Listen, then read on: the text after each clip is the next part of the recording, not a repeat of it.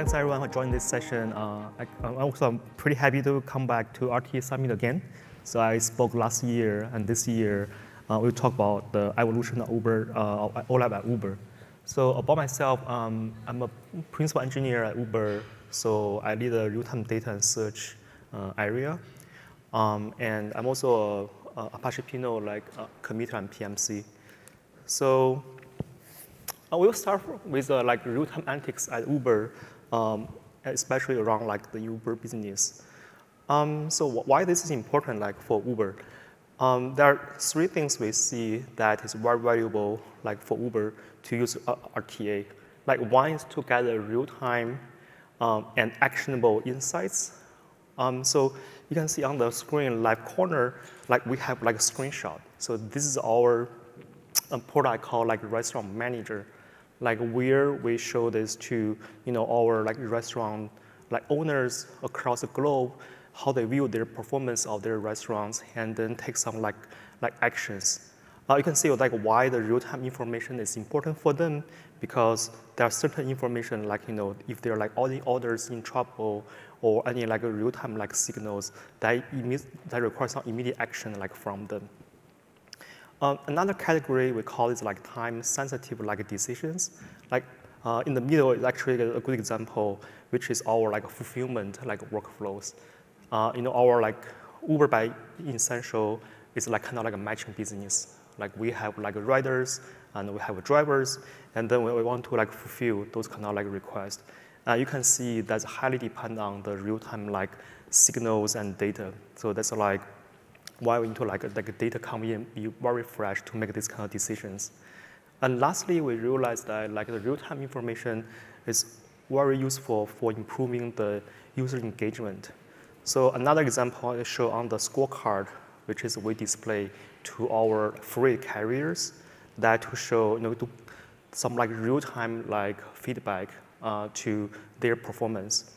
So, you know, given a tagline, our mission is that we want to provide like fast access uh, to fresh data at scale. So this is like why we want to build this like a platform. Um, and we name our platform, we call this like a EVA. Uh, and it's a consolidated RTA platform over Apache Pinot. This kind of architecture shows like our high level design. Um, and uh, one of the keyword here is this consolidated platform. And uh, in this talk, actually, we'll walk through the journey uh, of Uber in the past few years about like our consolidation work. Um, and we started the like platform in 2018. And uh, you know, at Uber, we tier our services uh, for this like for their like importance and uh, reliability. So tier zero means like the most critical like platforms, uh, and uh, like this given the importance of this domain, like uh, this Ava platform is like tier zero. And surrounding the Apache Pinot, we build all kinds of like components to improve user experience, for example, to provide this self-serve onboarding experience. Um, and we also made a lot of improvements over the, the, the SQL part for interaction uh, with the system. Like we build integration with the Presto, so user can use the Presto syntax for interaction. And also we're actually working on like a proxy so that our customer now can use like Pinot SQL to directly for interaction. Um, and so across the platform, probably for all the use cases, like majority of queries can finish within 100 milliseconds, and we provide like second level like a freshness that, you know, for our mission that we want to provide like fast access to uh, fresh data. Um, and in the past I would say like, like one or two years, we're also thinking about like workloads beyond like traditional RTA, like not just like you know the real-time like data signals, but we are looking into like other domains. Uh, for example, uh, log analytics. So in the later session, I will talk about like our, our ongoing work that trying to use Pinot to uh, do the, be the primary storage engine for our like logging platform. And on the other track, we're actively working on supporting like high cardinality uh, metrics in observability. So traditionally, like Uber has been using, we call it like M3, uh, which is like we open source like several years ago. But there has been like uh, a challenge uh, around supporting high cardinality metrics. Um, but you know, are certain use cases is uh, they do demand this kind of like support. And like one of the ongoing effort like we're doing is to you know support this using Pinot given like like super strong like indexing type and support uh, so that we can like address this kind of like technical pains and enable those kind of like use cases. Um, and third, like interesting work we are doing is we call this uh, HTAP, which is like uh, it's called like hybrid transactional and analytical um, like like processing. So we are integrating with our um, online primary storage, like for example, uh, like Cassandra or MySQL, so that to bring to create like you know much better user experience, so that like people can query uh, both the transactional query, also analytical query. So hopefully in the future, like RTA summits, we can talk about this kind of work uh, and give uh, like more updates on those. Um, so you know, this talk is about like our consolidation story.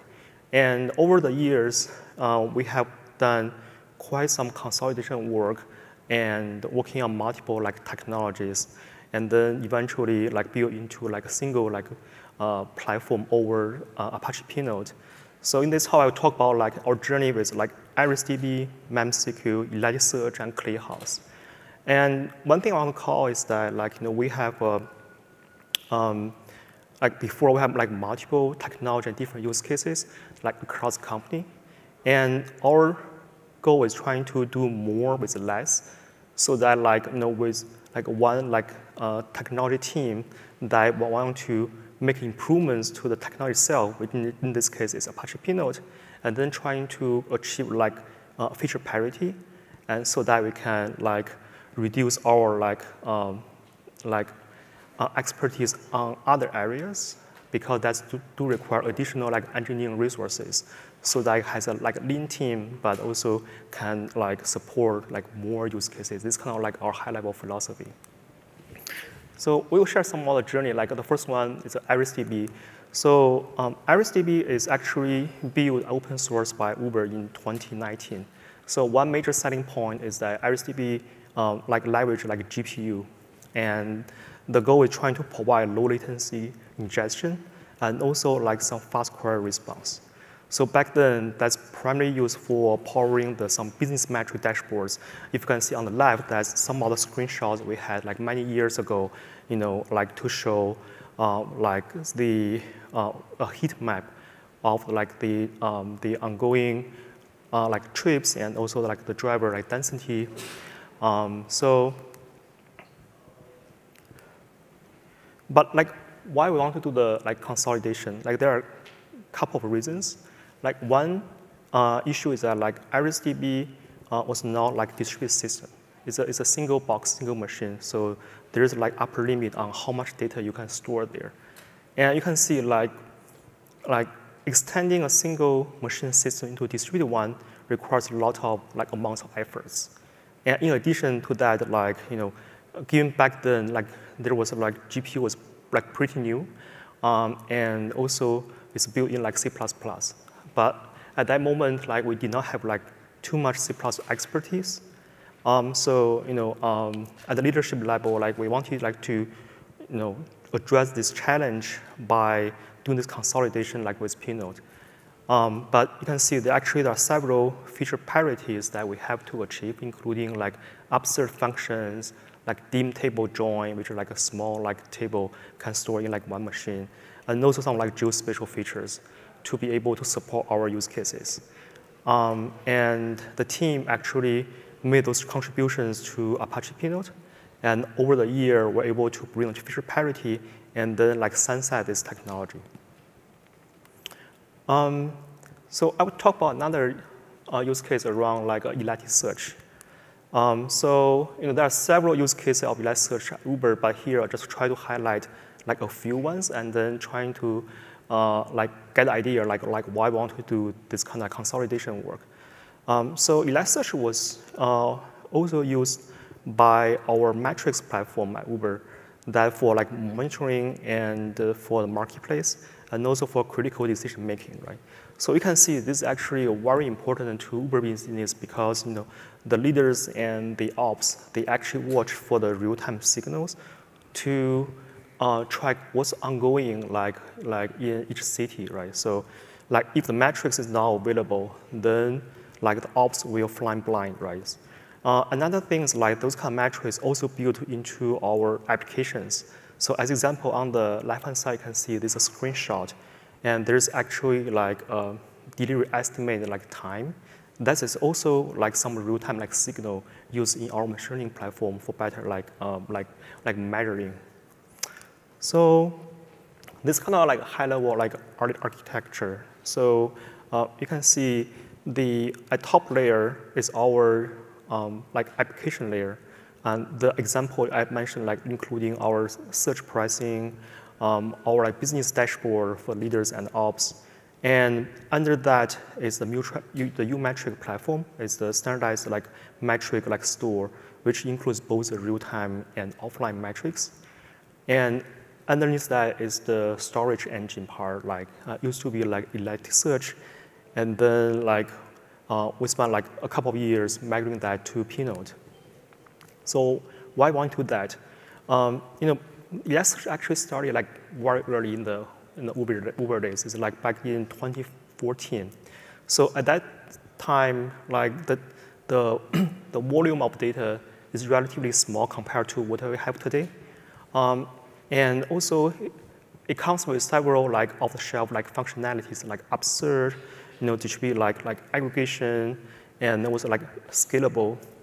Uh, however, over the years, as the amount of data grows, like the, the metric platform engineers uh, did see several challenges on the reliability side and also on the engineering cost side.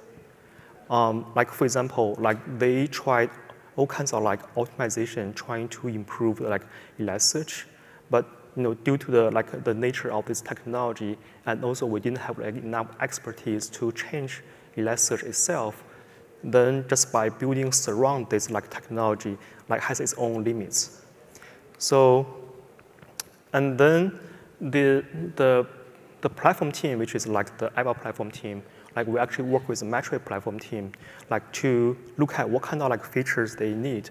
And then we identify there are several key things, including like Upsert, like backfill, and we use the Spark connector to like, you know, uh, not only to ingest data into Elasticsearch, but also to uh, like taking snapshot of Elasticsearch data into like Hive and Data Lake. And also there are like a nested column like support. So you can see for the year of this feature, other, other, other year, we actually contribute this feature to Pinot to like achieve like feature parity. Um, and both actually on the platform side and the application side, we spend a lot of like efforts to uh, to prepare for this migration because you know reliability is definitely like on top of our mind, and we want to achieve like safe migration so that we build a lot of like testing like framework uh, and trying to ensure like not only about the um, the reliability front, but also want to we check on the query performance and the data quality uh, to ensure like this is like uh, like painless migration uh, for the metric platform users. And lastly, there's also um, quite some like performance tuning opportunities uh, that we identify through this journey because uh, with the detailed understanding of those queries from the platform, we actually realize there are certain optimization that we can push down into the storage layer, into the into Pinot itself. So if you look at the GitHub history, we actually contribute quite a few, you know, optimizations and functions to make those like query run faster. Um, so like it took our, us about like maybe like more than two years to complete this like migration. Um, and we significantly actually improved the overall reliability by looking at this like on-call dashboard, the number of alerts, and the number of incidents, um, and also we add additional like functionality, you know, with this like multi-region like setup, we can achieve like, you know, pretty fine-grained control of the failover, um, like in case there's like, like uh, the, issues on the matrix table itself. Um, and also, you know, like we importantly unlock our business by uh, allowing like more users to onboard, like addressing the, the scalability bottleneck. Uh, and also, importantly, is that like we um, bring a lot of simplicity to our cut to the metric platform side, that they were able to deprecate several customized systems and solutions built around the Elasticsearch so that now it's become like a simpler platform, easier to maintain. Um, you know, due to the limited of time, I couldn't go into the details of this migration work. But last year, we actually gave a talk um, at Data Council and to talk about how we scale um, this like uh, metrics like platform uh, with a lot of like deep dive, interesting insights. Um, now I'm, I'm, going to talk about our uh, consolidation like with MemSQL. Um, so there are also several other, uh, a few use cases on MemSQL. But here, today I'm going to highlight like one and perhaps the most important use case that we had. So which is like user like uh, cohorting like platform. So, you know, um, this platform is mainly for the uh, segmentation and targeting uh, for our like um, like marketing team. So you can think of like you know, uh, the marketing team want to identify uh, the Uber users and how to start launch uh, like campaign or you know send promotion to those group of people. Like for example, like we want to identify like people who are interested in you know like fried chicken or people are interested in like healthy food. Then we need to like have this like knowledge and this information like based on the past like user uh, like ordering history or their preference. So this platform is in charge of like managing those. Um, and there are like, you know, um, quite some like challenges with this particular application um, that I will show in the next slides. So, you know, like the, from high level, you can see uh, this platform includes like, like the data ingestion, right? So where the, the source, like we collect from like CRM, we from like the, uh, the current like user history from the app application data. And then this data is ingested into the storage and, and backend is a, is a MemSQL. And uh, people run all kinds of analytical query to identify which other groups. Like for example, if I want to launch a campaign to say, hey, I want to target like you the West Coast, uh, like with eaters who are interested in you know, like healthy food, then we are going to, uh, from the storage engine, we're going to retrieve like the, the list of candidates groups and then we also store the same piece of data in Cassandra for quick lookup, which is given like one group ID. We want to retrieve the, the user IDs, which become the eventual, you know, the, the targets, uh, the targeting, um, so that we can send emails, you know, we can like push notifications in the app, or like send like text messages. So this is at a high level. Um, and you know, initially this system was built on top like MemSQL like back then, but over years the the cohorting platform team like realized some like challenges with this solution.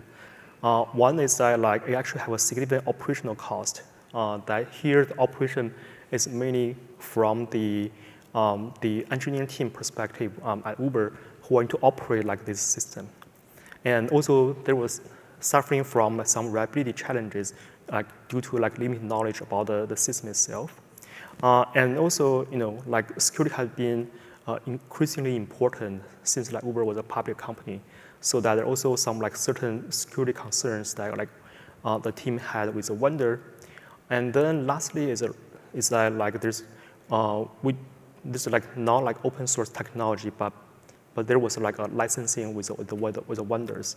But you know, if you look at entire Uber, there are actually um, not many use cases on MemSQL itself. So that means that this become like a silo. So that there's not too much cost sharing opportunities with other teams or with other like use cases on this solution. Um, so that's like, like the two to three years ago, the cohorting platform team engaged with our platform team, and then we look into this like this problem. And we realized that actually uh, there's some unique challenge with this use case at that moment like Pinot was not able to support. That was because uh, originally Pinot was designed for a single table analytics, uh, which means like you run aggregation or you can run some like filtering on a single table, that is fine. But it didn't have the capability to join with other tables. Um, but that changed like you know last year where the community uh, added support or distributed join with multiple stage uh, and a multi-stage engine, which is really like a game changer for Pinot. And by the way, I know there's a, another going session about this topic, so I'm very grateful for people here to attend this session. I know that session is very interesting.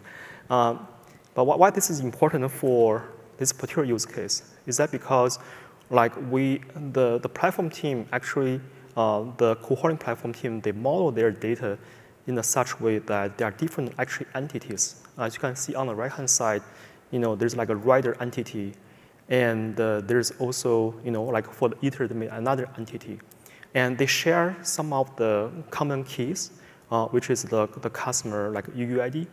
Uh, but you can see like both of these tables could be pretty large, right? So uh, that means like we couldn't do like, you know, a combination of this into like one table. Uh, we had some attempts on that approach before, but we realized actually that was too challenging and also is not a very elegant solution. So, um, so Uber actually contributed and collaborated with the community on this multi-stage engine. And moreover, we actually contributed a called feature called co-located join. Um, so the idea is that we still want this like join to be cheap. So we want to avoid data shuffling. So to be able to do that is that we want to partition the table, table tables in the way that, you know, for the data with sharing the same uh, like primary key will be grouped together into like one server. So that like when the join happens, all the join can happen locally without like data transferring over the wire into other servers. Um, so we can still achieve like very low latency for this kind of like uh, use cases, which is a must-have. Um, and this kind of like shows the timeline of this like transition. Um, so it's like quite a lot of efforts from like both teams in making uh, for making this happen. Um, and also, uh, you can see like as part of that, you know, we are the very first adopters of this co-locate join feature at Uber. Uh, and in fact, I think perhaps you know, the largest scale like in the industry uh, for this particular like uh, multi-stage join. Um, so just to show some wins, right? So uh, for the gains after the, the migration. So you know, first of all, we this is important for cost saving because we like reduce annual like licensing costs on MemSQL, and so that like we can the they can use the in-house like platform we build at Uber, and also there are actually pretty good like performance gains uh, through this, this work. Uh, to call like several notable ones, like you know 75% core latency reduction and 90% the page load load time, which is what our end user they are seeing. So this is a substantial um, like improvements. And also this address other concerns I mentioned earlier, like there's no like around the security and compliance part. Um, and uh, also the, the, this also have the opportunity for the Uber team to contribute this feature to the Apache Pinot for others to adopt as well. Um, so our engineer actually uh, last year also gave a deep dive on this topic uh, at Uber meetup. So I paste a link here if you are interested in this topic. You can also go there and take a look. Um, so our last consolidation is with uh. Um, so for ClickHouse at, at Uber, its primary use is for logging, so a logging platform. We actually we have a code name. Uh, so logging platform Uber is called like Sawmill.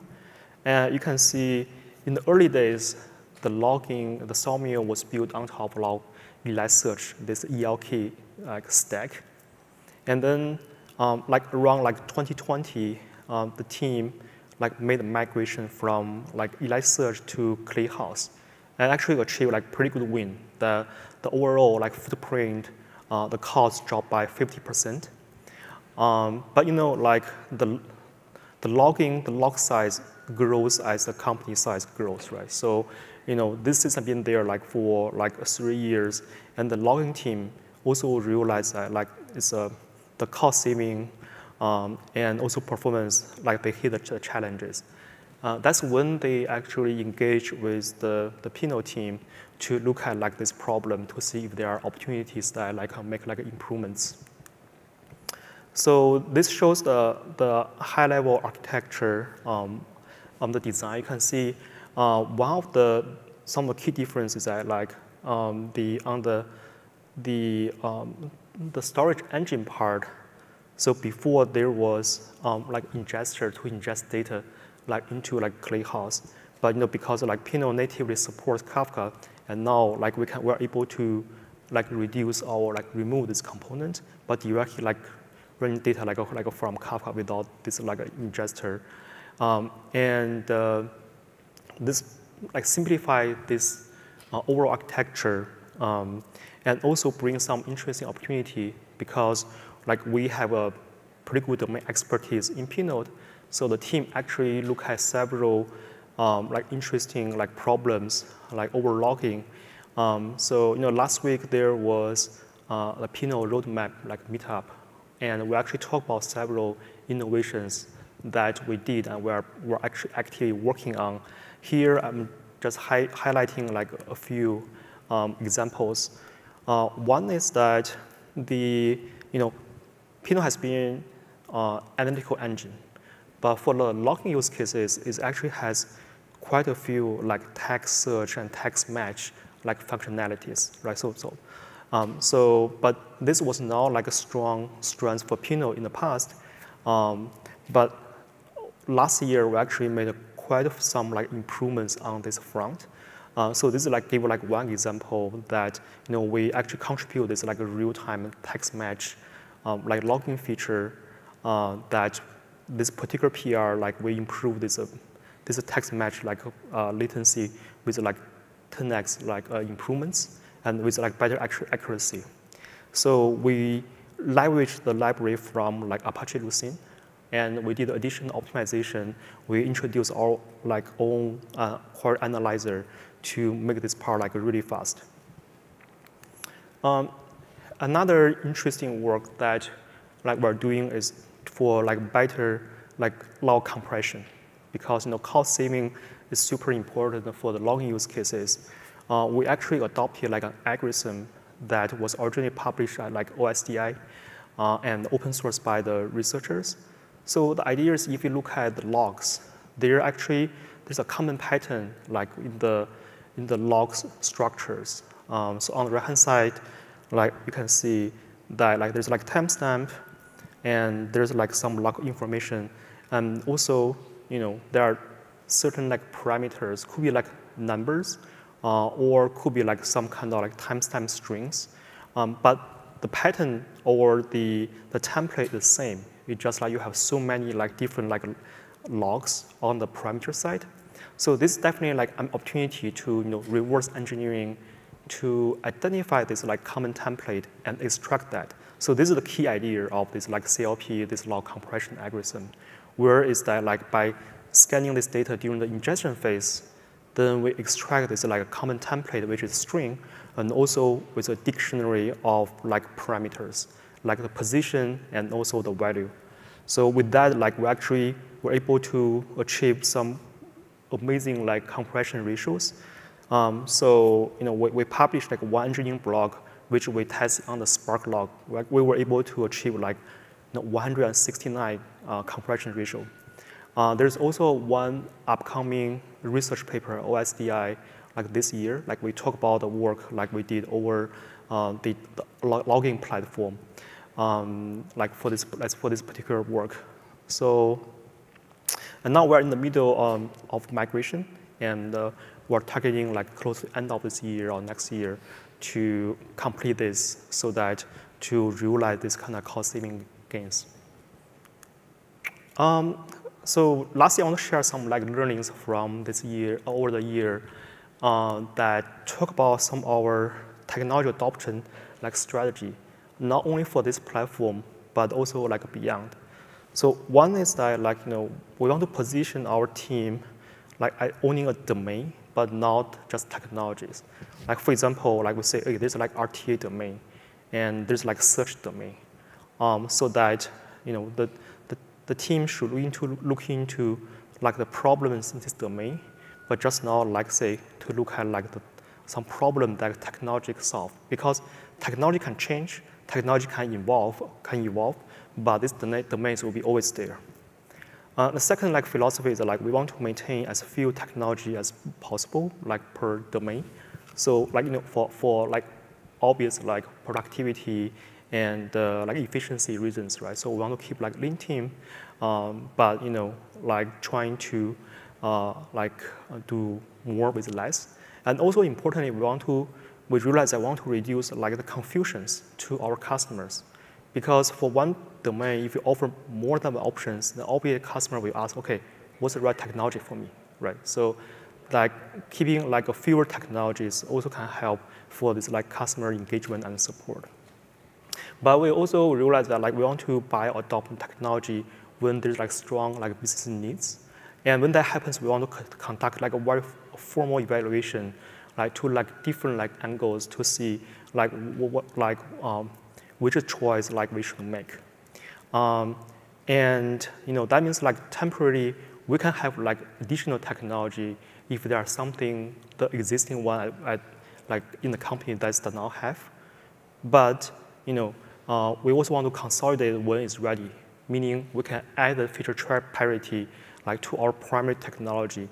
Um, and but you know we still want to go with the principle like uh, of the second, which want to maintain as few technology as possible. And lastly, is like we want to commit to you know, open standard, right? So we want to have a technology like where this like active community um, and also um, so that we, we call it like you know, external like, like oxygen uh, so that you know, we can leverage the community work. So just a bit more about the factors when I talk about the uh, the open source like adoption. So you know, internally we do have like um, uh, like a, formal template, and that includes like many criteria that whenever we need to consider new technology, we will need to fill in. Uh, we evaluate many fronts, like including like the technology readiness to see what's its current position like in the industry, like the, its max scale, uh, the standard, security support, those kind of things. And also we all have a section to talk about like what's the adoption risk. Uh, this includes that like for any technology we adopt, we have to spend efforts integrating this with our Uber ecosystem. So there, there will be like efforts, engineer work spent on integration, on maintenance, uh, and also importantly, we try to minimize the lock-in risk. So that's why it's really important to choose technology that has like you know the, the open standard like in the industry. And lastly, is also like community like attributes uh, around the technology that you know we um, for our philosophy, philosophy is that like we want to commit to the, um, the open standard, and so that like we prefer the technology that has the you know very open like uh, licensing like modeling and like merit based like governance model, so that our team can contribute to the open source technology and also be part of the community as well. So yeah, that's my uh, last slides. Yeah, thanks. And any questions for me? Thank you. Yeah.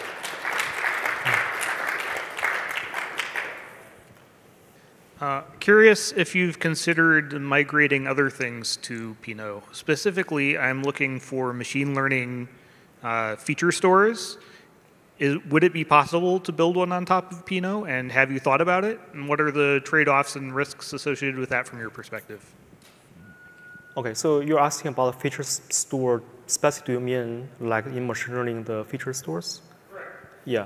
So like for that one, like we uh, did not consider or we have not considered. So one of the reasons is that we look at that the, the feature store, we realize actually the data access pattern is actually um, like really high concurrency. So that means like a lot of like read throughput. So that's beyond like the Pinot um, like uh, sweet uh, spot, I would say. That so we use different technology like for that purpose, uh, like within Uber. You said one of the migrations took almost two years, right? How do you keep up with constantly migrating technologies and also the meeting the business needs? Uh, sorry, I, I missed your first part. The you said one of the migrations took almost two years, right? Two years to complete the migration. Uh, you mean the telemetry? Is that what you're? Yeah, I forget which migration, but from oh, one the database. Metrics. Yeah, the metrics, right? Yeah. Yeah. Right. So how do you keep up with changing business needs and constantly in a migrating mode and still delivering on your business requirements? Um, yeah, I, I think, uh, sorry, it will be like breaking, so I want try, I hope I capture your question. So I, I thought that there are two parts. Like one part is I think about the, the, the metrics itself. Um, the second I think is like how we can ensure the migration like without like breaking or like creating like challenge to our customer, right? That, that's a that's a pretty good question. So one is that like for metrics, uh, there are two types of metrics in general. One is the business metrics, and the other is the system metrics. Um, so so overall, we actually have a different platforms for this type of metrics. So the business metrics we call is like a uMetric, which is um, mainly targeting for our like metrics that so that those metrics actually can build into the applications, like powering like you know this dashboard for uh, the executives to and ops to view. Uh, the system metrics is, is for observability. So that one, like today we, we still use M3. Uh, it's just like only a subset of system metrics that demand like high cardinality. That way we use Pinot. Um, and uh, it's also true that if you look at for the business metrics, they actually uh, like quite challenging work to, you know, to migrate and then we do not want to introduce any interruption to our customer side. Uh, so, you know, the, the painless migration is actually one of the major um, like requirements, like when we carry on this kind of like migration work. So there are some like thoughts. One is that before we conduct migration, we want to really spend efforts looking at the, the feature parity right? So, so that we need to know, okay, what are the features like we have to implement? And a lot of that actually we need to count on the, the testing. So that just for this part, we actually build infrastructure work that we will shadow the production query. And we actually like measure and observe on different dimensions of these metrics, including like reliability, query latency, like freshness, even the results like parity. We do like a, you know, the parity check of the query results content to ensure like everything's on par, right? So that we are able to do like a, like a switch at runtime. And also a good thing is that like we can always, we can actually switch back. Like so that like, you know, we roll out the new system, if there are like, you know, surprises, if there are like instability, we're able to switch back to old stack. So we only keep on the new stack running like in the healthy way for several months. And then we will say, okay, now this can graduate. We can sunset the old one. Uh, so you mentioned about large joins uh, using Pinoes, like uh, using large tables with the joins. So how big are these large tables? And my second question is basically you also also mentioned about upserts. Mm. How big are these upserts, and uh, how frequently do you do those? in yeah. Pinot? Okay, those are good questions. So for, for join, I would say right now our primary use case on join is the collocated join, like I mentioned, right? Because from the, the technical perspective, we know this join will be fast. And also we know that you know, the multi-stage like join capability is, is pretty new. So I think it, it takes time to you know, to iterate, optimize, and refine. And we're actually actively working with the community on that front. Uh, another thing is like, you know, for the join rollout at Uber internally, we'll be, we want to be very careful, mainly from the reliability concerns that we do not want like a few ad hoc expensive query to degrade the entire cluster, right? So this could be a common challenge. So that means like, you know, today our work with like we actually have engagement with our customers and try out some POC to see how that performance. Like if it's okay, then okay, like we can we can onboard this. So we kind of like taking this kind of like allowlist like approach for those join. But you know, hopefully, like this join feature in the upcoming months or year can be more mature, and also there are like you know cost admission efforts uh, of feature can be added to the open source to better protect the system for this kind of like situations. Um, and regarding your uh, question on the upsert, so like for our observations, like we have probably like one third or one fourth of the use cases that require upsert. Um, but also interestingly, that those use cases actually are critical and important use cases.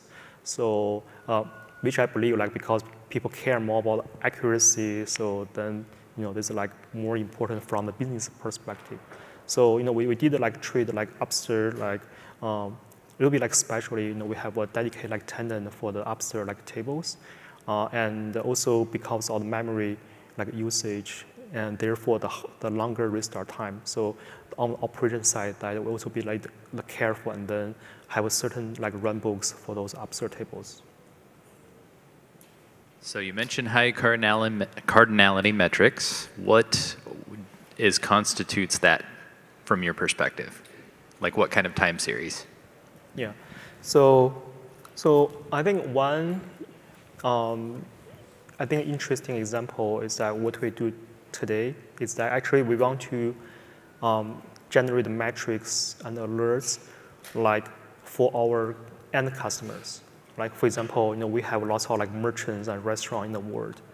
And like if they're like metrics like job, for example, the number of orders, right? So let's say each day they should expect like, you know, five or 10 orders like per like, you know, hour or something. But if there's a sudden drop something, like we, we want to like alert them. So the, this metric is determined by the number of like restaurants or merchants, right? So we have like millions of them. So this is like constitutes like high cardinality. So that's one example. Another example is like there are metrics we put on like UUID. So to detect the UUID churn, because like for the same like item in the catalog, that we identify there are cases, you know, when the the vendors like each day, like when they, they will like rescan or re-ingest some data, but then for the same item, it may assign a different like UUID right? So to identify this kind of like churn is actually like important because you don't want different reference of the same entity like in, right? So that's some key metrics that we use and we monitor as well. Thank you very much for talking.